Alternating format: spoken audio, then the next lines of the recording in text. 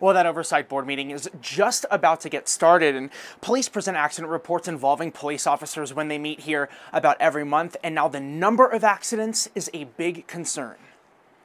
An Albuquerque police officer racing to a call last month about a man with a machete hits a car with a six year old boy inside, killing him. In March, the Albuquerque Police Department says its officers were involved in 66 crashes. Last year, 300 total crashes. It feels a little outrageous because they're cops. Raising a red flag for people in the community and the Police Oversight Board. You just can't simply make a blanket statement that there's a lot of crashes. So the board is having APD look into the crashes police officers have been in and report back to them how many of those could have been prevented. To compare uh, vehicle crashes for the department with other like-sized departments and other like-situated departments. The Civilian Police Oversight Agency's Executive Director Edward Harness says the board wants to know if the crash numbers are out of line or typical for the size of APD. We're trying to determine whether or not it's a, a serious issue. Obviously, there's a high profile case right now. That case involving Officer Jonathan McDonald and the little boy who died in the crash on Eubank and Indian School.